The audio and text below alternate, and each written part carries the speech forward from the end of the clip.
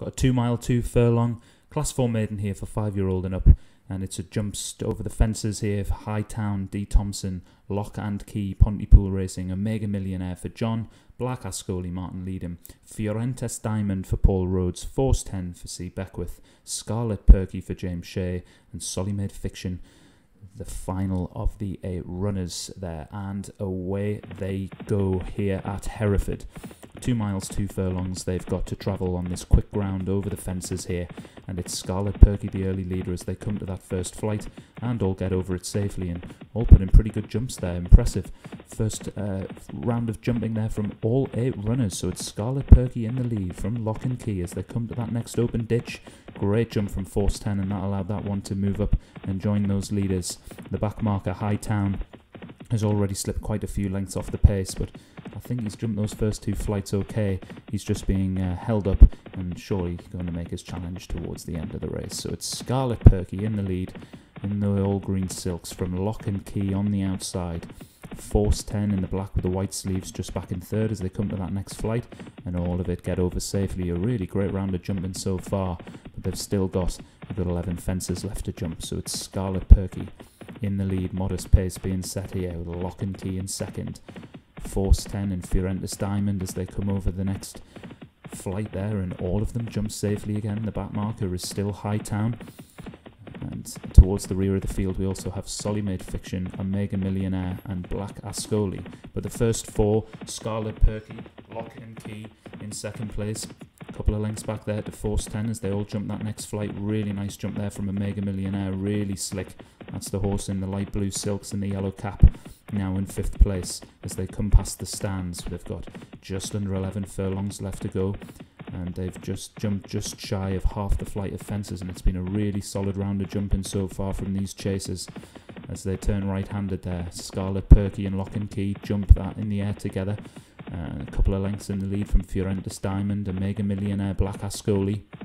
And then we've got Force 10 towards the rear of the field, Solimade Fiction and Hightown remains the back marker here at Hereford. So Scarlet Perky and Lock and Key matching each other for stride for stride. Took off in the air together, but you can see that Scarlet Perky jumped it slightly better.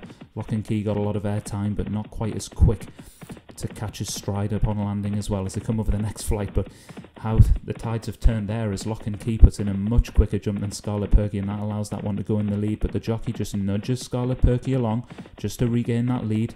The slightly lighter horse on the rail but followed all the time by Lock and Key, Fiorentis Diamond just behind those. We've got Black Ascoli in the purple, which are really great jump, and that's taken a good few lengths out of the horses in second and third. With Scarlet Perky still bowling along in front, has the lead as they come over that next flight quite quickly there. And again, all eight horses are standing, and there hasn't been any real serious mistake so far. So it's Scarlet Perky in the lead from Lock and Key, five furlongs left to travel as they jump that flight. Another good round of jumping there from all the runners. So Scarlet Perky in the lead, opening up a couple of lengths to Lock and Key. Fiorentis Diamond has dropped back a little bit. Uh, Black Ascoli and Omega Millionaire started to move past, but you can see Fiorentis Diamond just niggled along there to go back in between them and regain third spot. But it's still Scarlet Perky in the lead. The lead isn't decreasing, it's widening, if anything. So Fiorentis Diamond's going to try and change that as it come in the next flight. Super jump from Scarlet Perky allows it to just kick on with two and a half furlongs left to go. And it's now Omega Millionaire that's the main challenger as Lock and Key starts to fade down the rail. It's been passed by Fiorentis Diamond. Black Ascoli trying to pass. Oh, an awful mistake there from Scarlet Perky. He was travelling so well and really putting the pressure on, but look at the mistake. It's cost it that few lengths advantage, and now it's only a length back to Omega Millionaire. But Scarlet Perky regains composure, but it just looks like it might have taken the wind out of his sails as we go on the last flight of and uh, last final furlong because Omega Millionaire's taken it up and a good solid jump there. Lock and Key puts a great jump, and that's going to try and pick it off and catch back up, but it's too late, too little, too late from Lock and Key there. He put in a great jump, but Omega Millionaire the last two jumps there just really put this race to bed for it. Some solid jumping, and those last two slick jumps just allowed it to pick off the long-time leader Scarlet Perky and just move on and record quite a comfortable victory there at 8 to 1 here.